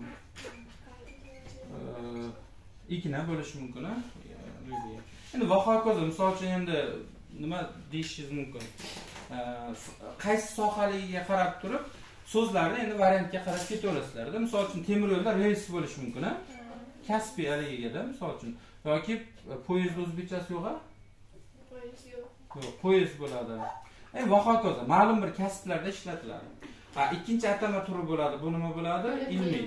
Ilmiy. Atamada misol uchun olishingiz mumkin plyus bo'lishi mumkin hop ot bo'lishi mumkin e, atom bo'lishi mumkin biologiyadan. E, ildiz bo'lishi mumkin. E, hol bo'lishi mumkin va hokazo qarang mana shu narsalar atamalar deyiladi atama yoki terminlar ko'p ma'noli bo'lmaydi do'stlar. Tushundinglar atama yoki terminlar ko'p ma'noli bo'lishi mumkin emas chunki o'zi atama bo'lgandan keyin o'zi bitta narsani bildiradi. O'z nomi bilan atamada biz o'sha narsani aytilishi bilan xayolda nimaligini bilib olishimiz kerakda. O'sha narsa atama deyiladi. Demak atamalar yoki terminlarda kasbiy bilan ilmiyga bo'linar ekan e, kasbiy atamalarda ma'lum bir kasblarda shug'ullanishadi. Misol uchun olishingiz mumkin tesha andava igna rels poyezd bo'lishi mumkin e, va hokazo bo'linadi. Tushundinglar do'stlar. Ilmiy atamalarda esa plyus ot atom bo'lishi faqat bitta tomoni bor do'stlar. Atamalar ikki xil uslubda paydo bo'ladi. Birinchi atamalar umumxalq tilida ishlatilayotgan so'zlarni maxsuslashtirib olish orqali bu ko'proq ilmiy atamalarga tegishli bo'ladi. Misol uchun ot bu insonni ismi bo'ladi umumxalq tilida uni biz fanga ma- ma'nosini maxsuslashtirib olsak bu so'z turkum bo'lib qoladi. Yoki ildiz bu tabiatda misol uchun birorta o'simlikni ildizi bo'lishi mumkin o'zlashtirsak ildiz ostida matematikada hol ahvol bo'lib qolsa bu ahvoling qanday o'sha ma'nodagi hol bo'lsa uni ma'nosini e, fanga maxsus olib kirgan paytda nima bo'lar ekan? Gap bo'ladi. Gap bo'lagi bo'lib qolishi mumkin. Bu birinchi uslubi. Demak e, demak atamalarni birinchi uslubi o'sha tilni doirasidagi e, maxsus so'z ishlatib kelinadi. O'sha maxsusni so'zni olib maxsuslashtiradi so'z va u qo'llanilar ekan ikkinchi uslubi esa bu chetdan to'g'ridan to'g'ri kirib keladi. Mana plyus so'zi atom so'zi va bular chetdan o'zlashgan so'zlar ham hisoblanadi bir payt. Yoki kasbiy atamalarda mana rels o'zbekchasi yo'q poyezd o'zbekchasi yo'q ekan. Va hokazo bo'lishimiz mumkin. Tushundinglar bu nima ekan? Atama haqidagi ma'lumotlar edi shevalar bor do'stlar shevani bilasizlar. Mm, ikkinchi nomi nima ekan? Dialektizmlar deyiladi. Dialektizmlar. Ho'p dialektizmlar dialektizmlar bular nima bir til doirasida e'tibor qiling do'stlar bitta til doirasida misol kitobni book deyish inglizchasi kitobni kniga deyish ruschasiga bu sheva emas do'stlar. Sheva bitta til doirasida ro'y beradi. Misol uchun o'sha narsa bitta til doirasida turli xilcha atalish bu nima deyilar ekan sheva. Sheva so'zlar ikki xil shevada bo'ladi. Birinchi sheva misol uchun birinchi turi bu qo'shimchalardagi shevalar. Olishingiz mumkin kelyapti degan so'zni olamiz. Kelyaptini toshkentliklar kelyapti deydi. Ho'p. O'zimiz chinozda kelyapti ham deyishadi. Keyin e, e, kelyapti ham deyishadi adashmasam haligida nima edi yalama tomonda kelyapti deyishadi. Keyin e, kelyapti buxoroda aytishadi. Kelibdi. Namanganda. Kelibdi namanganda. Yana Kelajak. Kelayotdi. yo'q yo'q ular yo'qmi menimcha bo'ldi mashq qiling. Xorazmliylar kecha- kelajak. Mamidi Xorazmda boyimda uning sinfda bir- yo z- zamon jihatdan farqi borda. Kelajak kelasi zamon haqida kelyapti hozirgi zamon haqida o'sha jihati borda. Qarang do'stlar sheva so'zlari qo'shimcha bilan bog'liq bo'lar ekan misol uchun e, kelyaptida kelyapti toshkent shevasi kelyap- kelyapti misol uchun bitta yoziladimi bilmayman haligida yozilishi noto'g'ri o'zi aslida kelyapti ke- kelyapti kelyapti va kelibdi deyilishi mumkin. Bu qo'shimchalar bilan bog'liq. So'z bilan bog'liq ham bo'lishi mumkin. Uni boya yozdik misol uchun qayerdadir? Paqir Chelak. yoki satil deyishlari ham mumkin. Yoki kimdir ipni jip deydi samarqand tomonda bilasizlar ipni jip deydi. Pomidorni patinjon deydi namanganda narvonni shoti deyish bor. Chaqaloqni? G'uvak deyish bor. Keyin biz samarqandda kursdoshimdan eshitganman. Baqlajonni boyimjon deydi. Boyimjon deb aytishar ekan ular samarqandlik e, haligilarda bu ham sheva lekin o'zbekcha. Ular ham o'zbek biz ham o'zbekmiz. Faqat turli xil hududlarda yashovchi o'zbeklar. Aynan o'zbeklar demaylik chunki boshqa millat vakillari ham bor ruslar bor qozoqlar bor qirg'izlar bor turkman ingliz xitoylar ham ular ham o'zbekcha endi inglizlar bizda kamroq menimcha. Asosiy qardosh xalqlardan iboratmizku biz. O'sha aynan o'sha o'zbek millati emas muhimi o'sha tilda gapiruvchilar deylik. Tushundinglar do'stlar u qaysi millatligi ahamiyati yo'q. Demak umumiy holatda sheva so'zlar mana shu narsa deyilar ekan. Va bitta savol tug'iladi.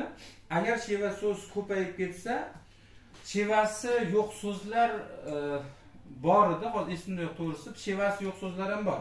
Bitta so'zga bitta so'z qabul qilinadi uni qarangda bir s- o'sha so'zni sinonimi sheva degan narsaga borib qolmangda. Misol uchun go'zalniki chiroyli latofatli so'zlar sheva degani emas. Sinonim ba'zida sheva bo'lishi ham bo'lmasligi ham mumkin. Tushundinglar do'stlar? Ya'ni ba'zida sinonim so'zlarni ayrim boshqa qismi sinonim bo'lishi mumkin e, sheva bo'lishi mumkin. Ayrim sinonimlarni ikkinchi sinonimi sheva bo'lmasligi ham mumkin do'stlar. Tushundinglar o'sha jihatdan muhim.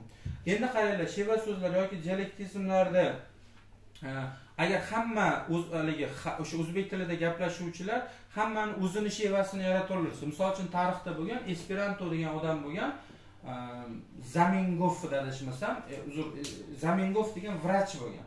Zamingov bilasizlar vrachlarni ani eski lotin tilidan foydalanishadi. Ani kasallik nomlari bilasizlarmi g'alati nomlari borku. Ular nima uchun ishlatishadi? Vrachlar bir birini tushun misol uchun sir deyishmaydi ular. Oldida bemorni oldida bemorga o'sha kasalligini bildirib qo'ymaslik uchun lotincha so'zda gaplashishadi. Lotincha atamalar bilan. Zamingov menimcha shunga qiziqqan bo'lishi mumkin. Zamingov esperanto degan tilda kashf qiladi o'zi. Esperanto tilida u so'zlarni yozib chiqardi bu so'z endi bundan keyin bunaqa aytiladi bunaqa aytiladi deydida natijada o'sha tilda gaplashuvchilar soni bir elliktacha bo'ladi. Faqat vrachlar bo'lgan shekillida lekin unutilib ketiladi. Ya'ni tillar ham sun'iy bo'lishi mumkinda do'stlar. Tushundinglar sun'iy til bo'lib qolishi ham mumkin. Endi lekin qarang do'stlar sheva so'zlarda sun'iy tillar sheva so'z bo'la olmaydi. O'zbek tili e, bu sun'iy til emas uni kimdir yaratmaganda u avtomat tarzda o'zi o'zidan yaralgan. Uni birinchi bo'lib kim o'zbekcha gapirgan gaplashgan ular keyin qanday tarqalib ketgan degan qarashlarni tagi yo'q uni o'rganib bo'lmaydi. Uni aniq tagiga yetishni iloji umuman har qanday tilda shunaqa. Birorta hozirgi paytda ingliz tilida ham birinchi bo'lib kimlar gaplashgan degan ma'lumotni ko'rganmisizlar? Yoki qozoq tili turkman tili qirg'iz tili e, fransuz tilida birinchi bo'lib ular gaplashgan degan atama yo'qda o'shaning uchun bilib bo'lmaydi. Qarang shevalarda biz gaplashayotgan tilimiz ayniqsa mana shu olmazor chinoz yoki boring yana toshkent shaharni ham deylik kulishmaydi bilasizlarmi? Biz gapirgan tildan. Agar shunaqa holat bo'lmasligi uchun adabiy til degan narsa ishlab chiqilgan do'stlar adabiy til bu nima? Adabiy til yozuvchi shoirlar o'tirib turli xil hududlarda gapirayotgan bitta so'zni yoki qo'shimchalarni yig'ib kelishadida ichidan bittasini adabiy tilga qabul qilishadi. Ya'ni kelyapti deb gap umuman gapirchi kelyapti desa kelyapti deb gapira olmasligi mumkin. Kelyapti deyotgan odam. Xuddi boshqa tilga gapirayotgan. Kelyaptini chinozliklar kelyapti deya olmasligi mumkin. Kelyapti kelyapti kelutdini misol uchun kelutdi degan namanganlik umuman kelyapti deb gapira olmasligi mumkin. Lekin e, o'shalarga insho yozdirsanglar mana bu so'zni yozadi mana bu shevada gapirayotgan hammasi mana bunday qilib yozishadi. Yoki ming toza toshkentlik bo'lsa umrida man men sen demagan odamni diktorlikka qo'yib qo'ying sharhlovchilikka nima gapiradi ular toza deb man san meni men sen deydi. Kelyaptidan kelayotganimda men kelayotganimda deb gapirishadi. Nima bilan bog'liq? Bu adabiy til ishlab chiqilgani bilan bog'liq. Va aynan shu adabiy tilning ishlab chiqilishiga asos tarzida toshkent viloyati bilan farg'ona e, viloyatini shevalari olingan. O'shaning uchun ham farg'ona bilan bizni toshkent viloyatini shevasi bir biriga ancha yaqin va bizni tilimiz adabiy tilga yaqinda. Misol uchun har holda kelyaptini so'zini biz shunday ishlatamiz. Ya'ni bizda sheva yo'q. Kelyaptimi kelyapti deb ishlatib qo'ya qolamiz. Ya'ni biz adabiy tilda o'zida gapiramiz. Misol uchun e, yoki bormoqchi so'zini shunga o'xshagan so'zlarni adabiy tilda o'zini ishlatib qo'ya qolamiz. Tushundinglarmi do'stlar?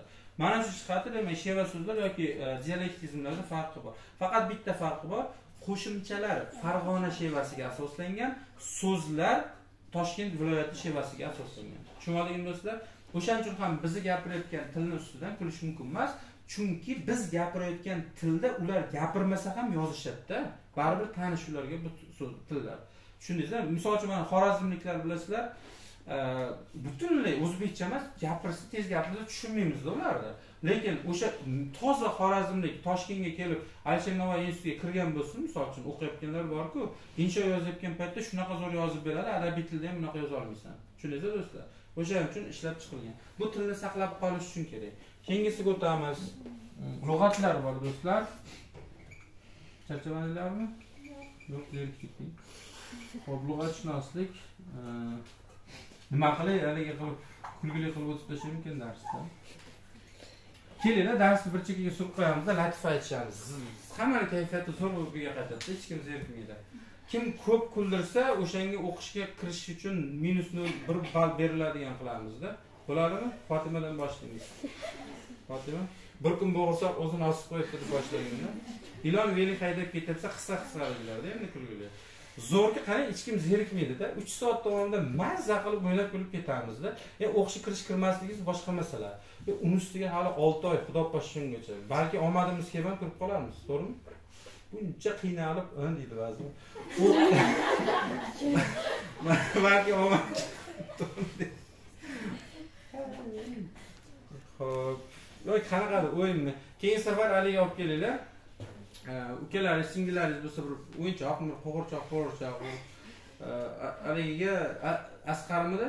Asqar bitta chelakda qum olib kelsang chekkaga to'kamizda o'ynab o'tirasiz samolyotlarni qilib. Yoki haligi kim chiroyli haligi yasashmi samolyot yasashmi bir birimizga uchirib bunday o'ynaymiz zato zerikmaymiz. Zato zo'r mazza qilib kayfiyat yuz chiqib ketamizda. Endi uyga borib nimani o'rganding desa aytib qo'yaverasizlarda bir narsalar o'rgandik deb qo'yaverasizlar nima qilamiz? Man bunga qayta qayta hop birinchisi imlo lug'at bor. Hop ikkinchisi izohli lug'at bor. Uchinchisi hop imlo izohli e, tarjima bor. Qarang do'stlar e, lug'atshunoslikni leksikoga qarang leksikologiyaga o'xshaydi. Leksikologiya so'z ma'nolari o'rgansa leksikografiyada lug'at o'rganiladi lug'at turlari ko'p. Misol uchun imlo lug'atda to'g'ri yozishni o'rganamiz bilasizlar. Buni izohli lug'atda birorta so'zni izohi. Misol uchun broker e, investitsiya E, magistr e, bakalavr nimaligini shunga o'xshagan so'zlar yoki dasturchi yoki kurka tovuq shunaqa so'zlar ham bo'lishi mumkin. Bizga notanishroq aniq ma'lumotimiz bo'lmagan lekin bilamiz o'zbekcha so'z o'zbekchada ishlatiladi. Nimaligini bilmaganimiz o'sha e, izohli lug'atdan sizlar bilasizlar izohli lug'atni eng katta manbasi ensiklopediya hisoblanadi. Bolalar ensiklopediyasi yoki o'n ikki o'n ikki tommida bizda yigirma beshtamida xabarlar yo'qmi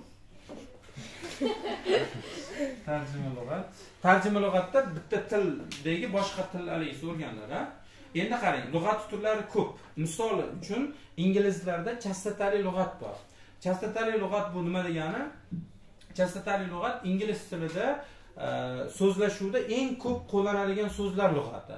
Ya'ni o'sha so'zlarni o'rgansang sen ingliz tilini grammatikasini mukammal bilmaysan lekin ingliz tilida erkin muloqot qilishing mumkin. O'zbek tilida unaqa narsa tuzib chiqilmagan hali o'zbek tilida chastotali lug'at yo'q. Ikkinchisi boshqa millatlarda yana qaysi millatligini bilmadim atoqli otlar e, haligilari bor lug'ati bor. Bizda yo'q ya'ni ismlarni qanaqa yozilishi haqida lug'at yo'qda. Misol uchun o'sha shahzodani g'i h qattiq x yumshoq yoki har xil ismlari har xil yozilishi bo'yicha ham bizda qarshilik borku unaqa lug'at yo'q. Ters lug'at degan narsa bor. Ters lug'at teskarishlik inglizlarda bor bu aniq. Ya'ni misol uchun e, school so'zi bo'ladigan bo'lsa sen sdan izlamaysanda ldan izlaysan ma'lumotni. Ya'ni oxiriga qarab turib. Yoki misol uchun book bo'ladigan bo'lsa sen bdan izlamaysanda kdan ma'lumot izlaysan. Ters lug'at. Bizda ham bunaqa lug'at turi yo'q.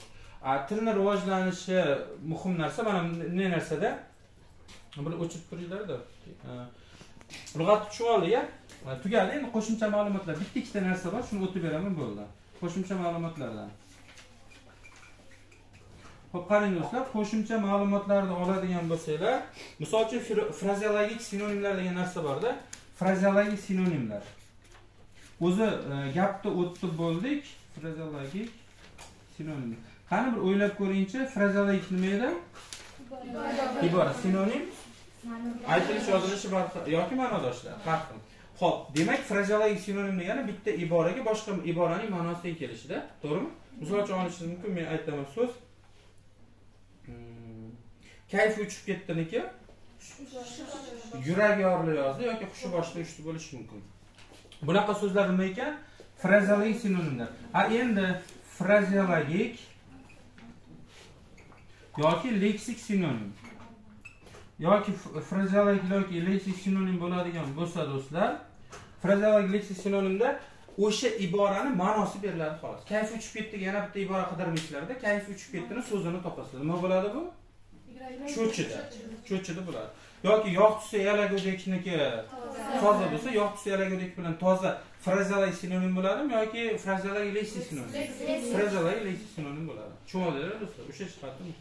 Hop, ketdik keyingisiga o'tamiz. Mana bu narsa ham muhim do'stlar. Iboraning so'z bilan almashishi bor. Qarang.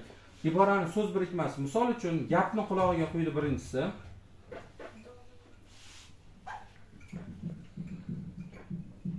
Xo'p, gapni qulog'iga quydi birinchisi, ikkinchisi e, gapni, yo, dorini qulog'iga quydi. Ha, Buyog'i yoqildi, esdan chiqib qolmayapti endi. Qaranglar, gapni qulog'iga quydi bo'ladigan bo'lsa, quloqqa quyish mumkinmi gapni? Bu yerdagi qulog'iga quydi ibora, ibora. Endi dorini quloqqa quyishchi. Bo'lsa qulog'iga quydi bu yerda dorini alohida, quloq alohida, quydi alohida so'z hisoblanadi. Tushundinglar?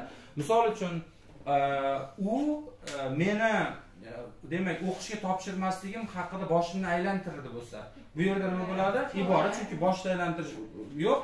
E, jismoniy tarbiya o'qituvchisi boshini aylantirdi bo'lsa unda bo'lishi mumkin. O'shanga qo'shib yoki yostig'ini quritdida ham misol uchun. Ibora bo'ladi. Misol uchun urush ko'p odamni yostig'ini quritdi bo'lsa yostig'ini ibora u qo'l yostig'ini quritdi bo'lsa so'z birikmasi bo'ladi o'shani ham yaxshilab bilib oling do'stlar.